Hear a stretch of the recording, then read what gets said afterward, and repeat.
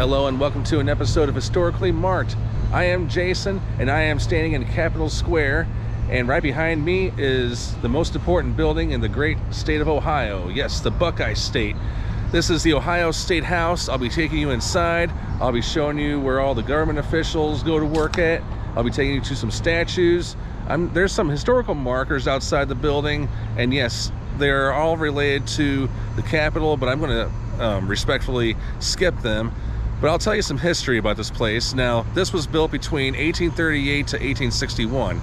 This took a lot of time to build because, yes, the project was stalled for many years. It was also stalled by fire. But the, the State House did open in 1857, even though it wasn't really completed yet. And I'll tell you more about that inside. But I'll go ahead and tell you some history about the state of Ohio. And of course, I'll show you around. Here we go. Now, this is the south side of the uh, State House. According to people that work inside and locals, there really is no front part of it, so, and the entrances change, I guess, so, but it is said that half a million people visit here each year from all over the country, and today I'm one of those people. It is, it is put, put on the National Register of Historic Places, it is a National Historic Monument, and it's noted for its Greek Revival architecture, and the first um, capital was originally in Chillicothe, and then it was also in Zanesville. But it, it was decided by state officials to move it literally to the central part of the state. And indeed they did. Yes, so pretty much this is the heart of Ohio as well as the heart of Columbus, Ohio. And Abraham Lincoln visited this place. Well, twice when he was alive, once and the other in death, but there's a marker that talks about that. I'll get into that later on. As far as the state of Ohio, now whenever I do visit a state house, I'd like to go over a little bit of information about the state, fittingly. So, Ohio got its name from the Ohio River, which forms the state border on the south as well as the southeast. It is a Seneca word for good river, so the nickname is the Buckeye State, among many others. It is the seventh most populated state in the United States.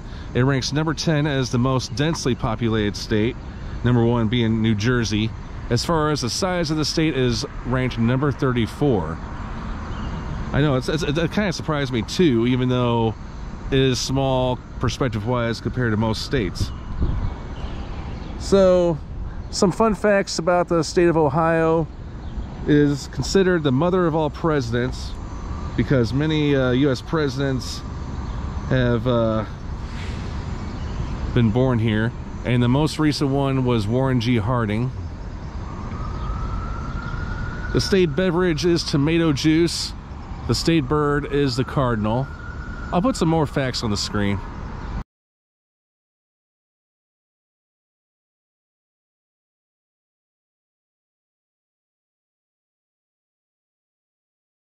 So what I'm going to do is I'm going to take you inside and I'll then afterwards I'll show you the monuments that are outside of this place. It's really beautiful. I mean, it's well kept. I mean, it should be, I hope, because yeah, it's the again, it's the most important building in the state of Ohio. But it's very cool to uh, check this place out because a lot of uh, I know a lot of cool Ohioans out there and at least three of my high school classmates slash friends live here in Columbus which is very fascinating. But I tell you the way to get inside I, I highly recommend doing the underground parking because I mean it's easy. You can also um, get into the state capitol building from there. Yes they do. I, I believe they do charge a fee. Well I'll find out eventually. But uh, they do have a museum in here lots to see and they have a restaurant in here as well. So that's pretty much what I can tell you Ooh, what is this? Oh. Okay. By the Grand Army of the Republic a little sundial. But here we go. And here is the atrium. Looks like they got a what do you call it a press release or a press conference about to go on. But here's an interesting plaque I see over here. here stood Abraham Lincoln at the invitation of the citizens of Columbus, Ohio. Abraham Lincoln delivered a memorable address here on the 16th day of September, 1859, or 1859. This commemorative marker was erected on the 75th anniversary of that event by the people of Ohio, and that was on 1934. I'm to go ahead and uh, make my way this way and go upstairs. Historic renovation of the Ohio State House. This Judiciary Annex was begun in 1990 to commemorate the accomplishments of Ohioans past and to better serve the needs of future generations. All right, let's see what's up this way. Oh man, digging this. And that looks like a portrait of Thomas Edison up there, who did live in Ohio. Wow, check out that dome. Let's see if I can stay in the middle of it.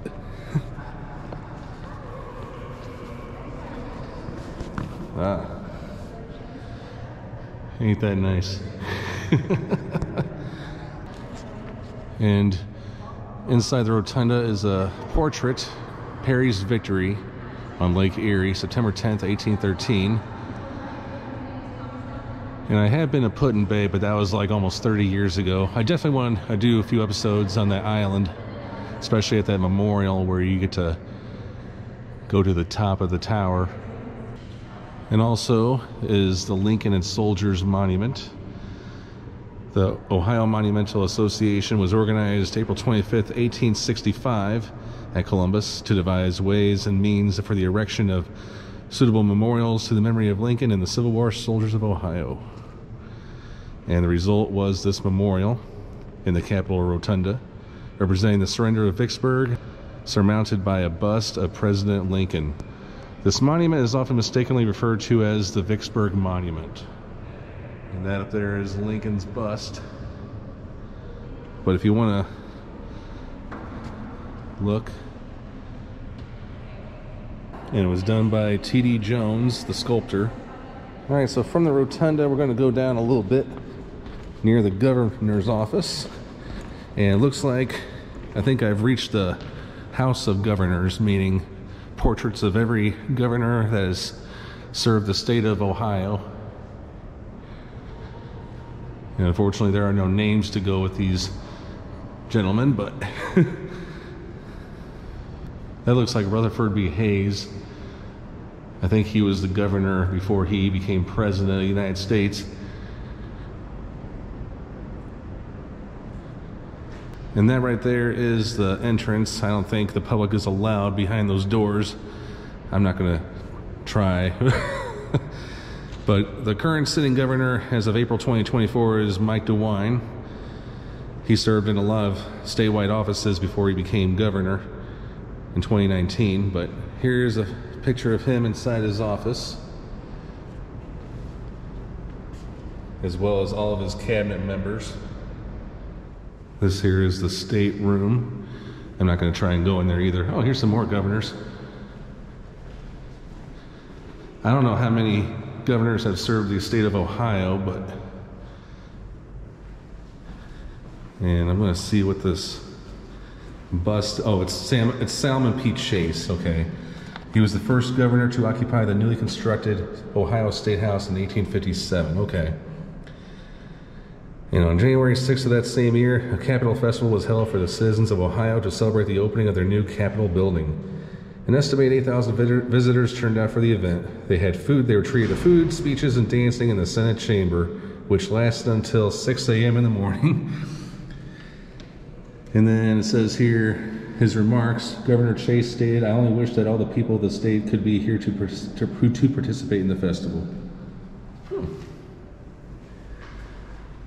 The Ulysses S. Grant hearing room. All right, where should I go next? Okay, now I'm in the, I'm in right in front of the entrance to the House chamber. And of course it says House members only, nobody, nobody but elected officials can go past those doors. Here's a bust of William M. McCulloch. He held a lot of offices here in Ohio. Speaker of the Ohio House of Representatives from 1939 to 1943.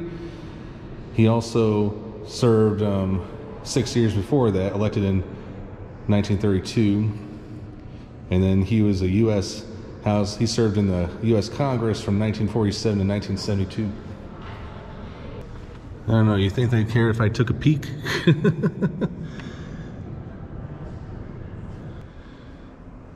and here's some galleries, like here's some portraits of past Ohio Speaker of the Houses down here. And this is a little outdated because this was 2020 or the 2019 to 2020 term, 133rd General Assembly. But these are all the statewide officials. Are you one of them? Or do you know somebody who was one of them? and here's some more from other years as well. And upstairs, just right above governor's office, is the Senate chamber. No, this is not it, but it's actually just right over here. And I didn't say a sign. I didn't see a sign that says "Do not enter," but this is as far as I'll go. Yep, these are all where the Ohio State Senators meet. And just outside the entrance to those doors is uh, all the state senators of Ohio, currently the 135th General Assembly. He's the president. And I don't know if this applies to every state house or every state capitol building, but I noticed this one also has a glass elevator. I think the one in Utah did too, if I'm not mistaken. Perhaps it's for safety purposes, I don't know, but either way, it's interesting. Hmm. And now we are entering what is called the Ladies Gallery. And not just celebrates the women's rights movement, but it also celebrates the women who have served in the Ohio State Senate and the Ohio General Assembly. And here is a big portrait of Jo Ann Davidson, who was the first woman Speaker of the Ohio House of Representatives and then she served from 1995 to 2000.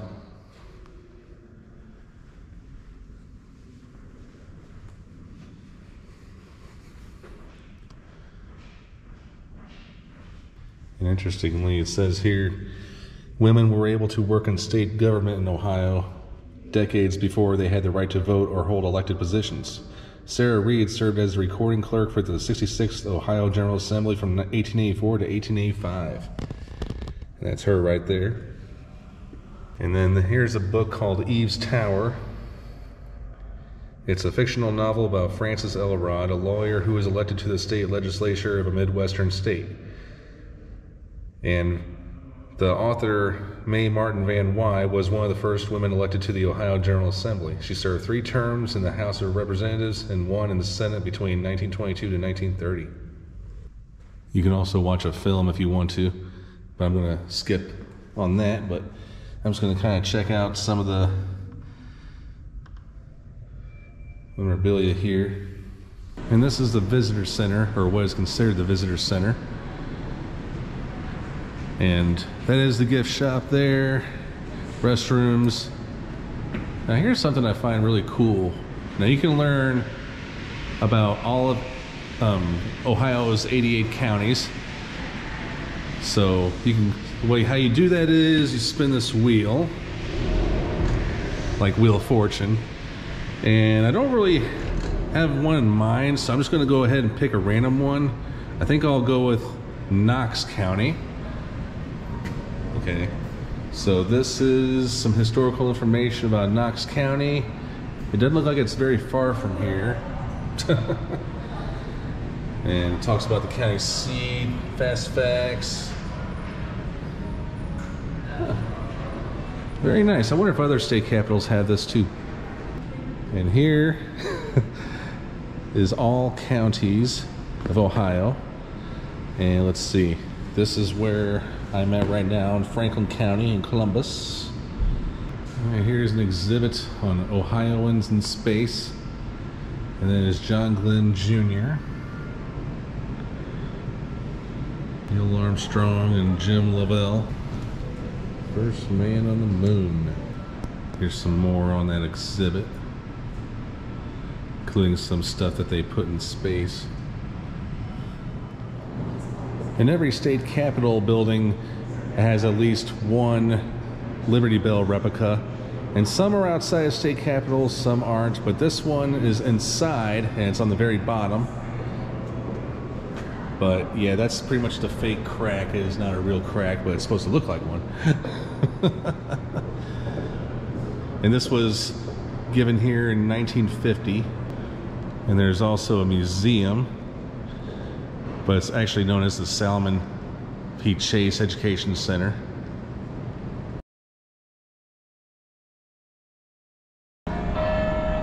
Now here's a marker here at the north side of the State House, and it talks about Abraham Lincoln's visit. But here's pretty much what he said. This slavery element is a durable element of discord among us. We shall probably not have perfect peace in this country with it until either masters of the, the free principle in our government or is mastered by the free principle. So on September 16, 1859, Lincoln addressed a small crowd from the East Terrace of the State House. In his first Ohio speech, Lincoln repeated his conviction that a house divided against itself cannot stand, and took issue with Democrat Stephen Douglas' concept of popular sovereignty. Published and widely circulated as an addendum to the Lincoln-Douglas debates, Lincoln's Columbus speech helped stake a firm position for the Republican Party in the 1860 presidential campaign that followed. Lincoln twice returned to Columbus, once on February 13, 1861 to address a joint session of the legislature prior to his inauguration, and one last time on April 29, 1865. From 9.30 a.m. until 4 p.m., Lincoln's body lay in state in the rotunda as 50,000 mourners filed through the State House to pay their respects. And this was put up by the Ohio Historical Society and the Bicentennial Commission in 2003. This here is the Peace Monument, which is also in the northern part of the State House. This is commemorating the heroic sacrifices of Ohio's soldiers of the Civil War and the loyal women of that period. This was put up in 1923 by the Women's Relief Corps, Department of Ohio. Here at the northwest part of the State House is the These Are My Jewels Monument. And then this is Ulysses S. Grant and I'm going to keep going around.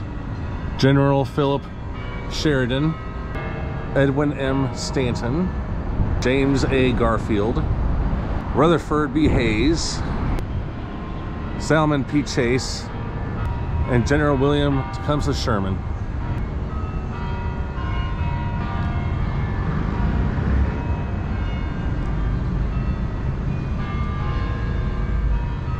This is the Ohio World War I monument.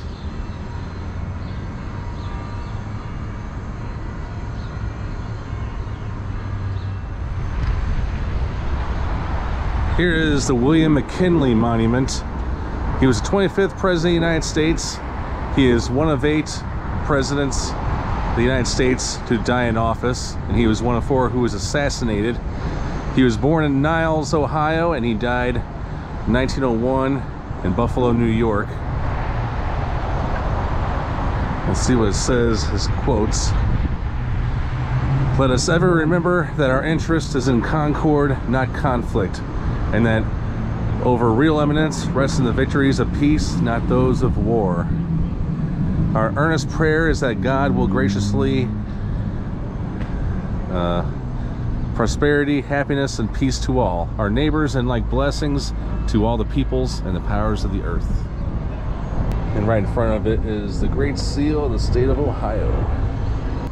Near the southwest part of the State House is this memorial, the Spirit of 98, as in 1898 to honor the soldiers from Ohio that served in the Spanish-American War. And of course, the city is named after explorer Christopher Columbus, born in Italy and was originally from Spain. And I know there are a lot of different uh, controversies and theories about whether or not, I know we were all taught in grade school that he discovered America, but as for now, let's pay close attention to this tribute that is on the southwest part of this state house.